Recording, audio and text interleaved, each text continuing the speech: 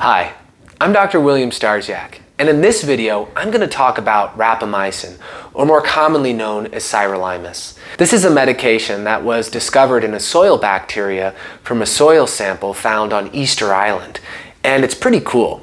When this molecule was first discovered, they didn't know what it bound to, and when they found what it bound to, it was an entirely new molecule that we had no idea existed. And it was present in pretty much every cell in the body and in every living organism. Even molds and fungus have this molecule present. And this molecule ended up being named for rapamycin. It's called the molecular target of rapamycin, mTOR. And mTOR is described as being kind of like a, a regulating switch between growth and repair. The basic principles being that when we're in full growth, our immune system can be overactive and we're also accumulating debris. It's kind of like if you're building a deck, you're probably going to make a bit of a mess. Once you're done building the deck, you're going to clean that mess up. So that's also what our body's like. When we're fully tilted into growth, we tend to wait on the cleanup. And we see this in all of our cells, this tendency of our body to accumulate debris, kind of a, a pile of junk. So rapamycin activates this molecular target of rapamycin, mTOR, and it causes the body to then shift into repair mode. But what is rapamycin for? Why am I even talking about it? Well, it's really one of our best candidates for longevity, the prolongation of life. We've already seen in animal models that it significantly prolongs life in rodents, in mold, in yeast, in flies, in dogs.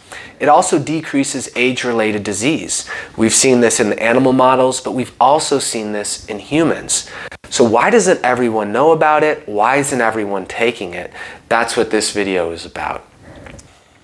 So sirolimus, rapamycin, has been really instrumental in transplantations. Before this medicine, transplants just didn't work. And once this medicine started being applied, all of a sudden transplants started working. And for this reason, the medicine got classified as an immunosuppressant which isn't really the whole story, but this is part of the reason why it's not more widely used, is because of this classification. Generally, for the FDA, whenever something is put into a certain class, all the risks associated with that class are applied to that medication. So for immunosuppressants, the risks are bacterial infection and increased risk of malignancy. But neither of these are significant for sirolimus at longevity doses, and I'll talk more about that later. There's one other reason why rapamycin hasn't been widely applied in longevity, and that's because in certain animal studies, they found that if an animal was given this, uh, like a mouse or a rat, over a prolonged period of time, and then they were given a glucose load, a sugar load, that they would spill glucose into their urine. So it was erroneously concluded that it could cause diabetes. But this phenomena is a well-known phenomena. If you, we see it in fasted animals. So if you have an animal fast or a human fast for a prolonged period, and then you give them a sugar load, they'll spill sugar into their urine because they're conserving their glucose for their brain. So their cells have become insulin resistant in the rest of their body, so they don't take up the glucose. So that glucose is left available for the brain. So this is actually a really positive thing that this was found in the rodent models because what it means is that rapamycin acts like a fasting mimetic. It's mimicking fasting without the need for fasting. So that's one of the really awesome things about it. And additionally, these rodents, they lived longer. They had fewer disease. Uh, the ones that were spilling glucose into their urine. So it was not a bad thing. Now, circling back around to those other two risks of being in the category of immunosuppression and having the risk of increased risk of infection or increased risk of malignancies applied to it. As it's been researched, we actually see the opposite. So rapamycin is approved for multiple different types of cancer. It decreases the risk of cancer in the transplant recipients that take it.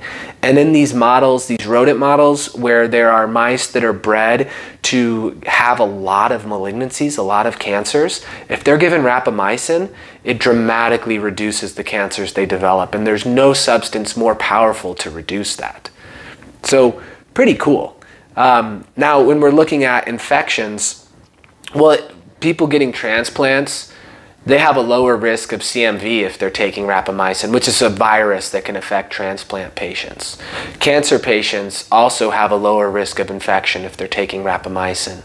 And the same thing is true with animal models in rodents, uh, in dogs, lower risk of infection with taking it. There are some positive studies looking at using it to treat autoimmunity like lupus, rheumatoid arthritis, Crohn's because what it's doing is it's it's normalizing the immune system.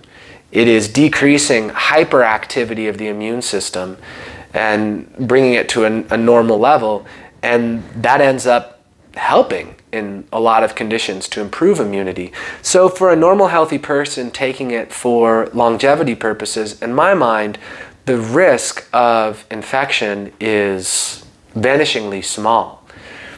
The other important thing to know is that rapamycin's dosed differently for transplant patients versus people using it for longevity. The way that we dose sirolimus for longevity is different than the way we dose it for other things. So for preventing transplant rejection, we dose sirolimus daily and titrate the dose up to achieve a certain trough level, a certain like minimum level of sirolimus in the system to ensure effectiveness. But when we're dosing for longevity, we don't dose daily. We dose weekly or every other week. We pulse it. And the reason for this being that the effect of sirolimus persists long after the medication is stopped.